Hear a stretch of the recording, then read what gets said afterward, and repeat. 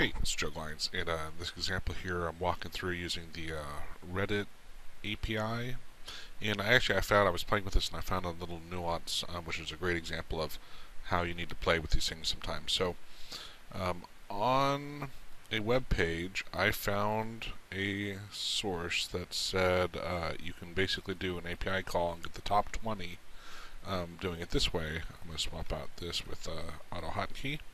I'm going to take this URL and say, all right, here's the top 20. All right, let me cut that so I don't mess up my uh, um, your uh, my API call. And so notice when I when I paste it here and hit enter, oh come on, hit enter. See, and it's returning it in JSON, which for me is harder to read. But see, there's there's a lot of data here, right? Um, pulled back a lot of stuff, information and uh, let me let me see if the XML is a little easier to on the eyes to to follow. Uh, all right, not ready because it's not pretty. Um, in more ways than one, but anyway, so so it returned all this stuff. The first one was JSON. This one's XML.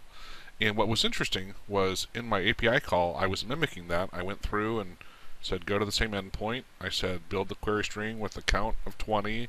And so basically, I'm not even passing my credentials here. I can comment these out and uh, and I think that's part of the problem. So I'm going to say message box query string, and you're going to see here. so it's just putting a question mark count equals 20, which is the similar to I should have left it on the page here. Is it still open? Yeah. So back over here that was the full URL, and all I'm doing here with my message box, see, with the query string, I'm putting ampersand count equals 20. So here's the full URL was what you see up above, and then there's that count equals 20, which is my query string. So I'm going to get rid of this. I'm going to get rid of, I'll leave that here so we can see it. And you would think, let me even comment this out, as with the other stuff I've been doing, so just pay attention to, let's bring in this up to here. This is what I've been doing in my previous videos, just demonstrating API calls. And when I run this, it, it, it here's the thing, is it worked, but notice there's, hey, there's not nearly as much text here as in the other one. What was interesting also was the, the XML, it wasn't getting truncated.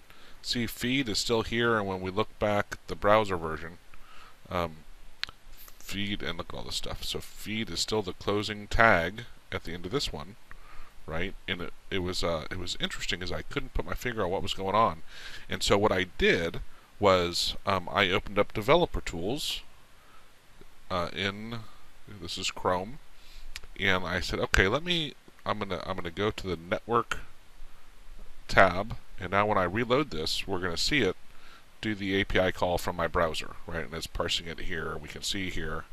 Now um, now I'm looking at the stuff of here's the general information, response header. So this response header is returned back, right?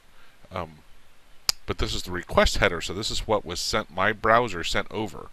And I tried taking the accept, I tried taking this, and that is where in my API call, let's see, accept. So I added this. Now we're going to start moving these things around here. Right, I'm going to move them back in. So I added that into my API call. Remember, this this right here is my API call. Um, and I'm returning the data um, right here. And um, that didn't change anything. I still got a very short amount of data. And so I came back here and I said, okay, let me let me turn on the encoding, um, and this this will um, it, compress it. And so I so I did that. I know I did it. Maybe I, I got rid of it. Oh, here it is. So I'm going to undo that and I'm going to move that back up into my API call. And and let's do the next one. That I set the user agent because I also thought, hey, you know what? If if Reddit doesn't think I'm a browser, maybe it's not um, returning the data. So I'm going to save this, reload it. Let me go ahead and clear this out so you can see. So and run it. And basically, I still have, you know, not a lot of results. And then I thought, you know what? Because I'm not passing my credentials, right? I noticed I found that post, and I didn't feel dealing with the authentication stuff.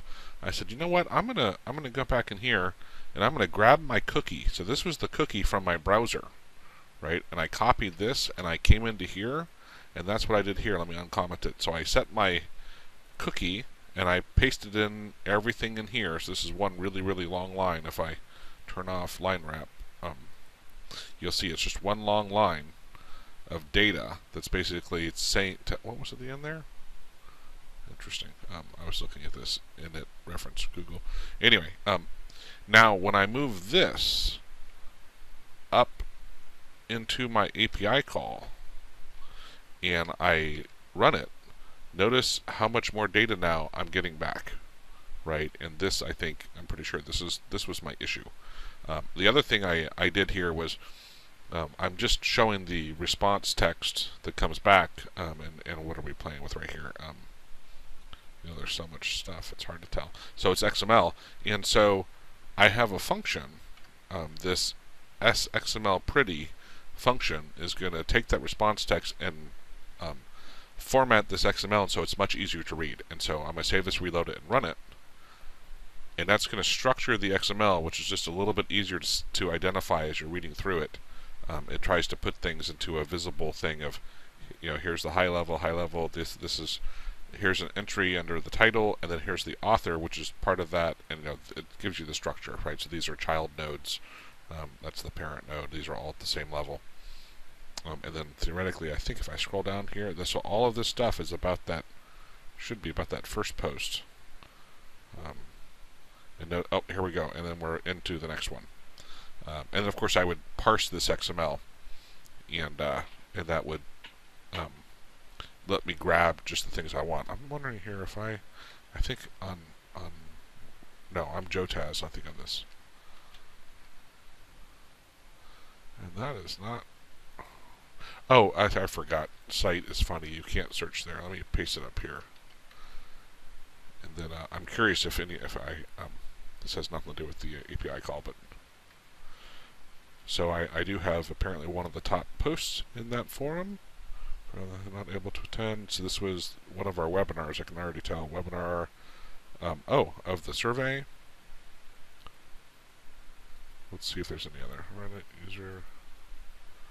Um, so this is just returning back the uh, the results from my query. Anyway, I thought that was a good example here of how, even though I'm not using my authentication credentials um, because it wanted the OAuth 2 and I just was being lazy, didn't want to deal with it, that I borrowed from my cookies and was able to basically fake it and return back the, the data I wanted.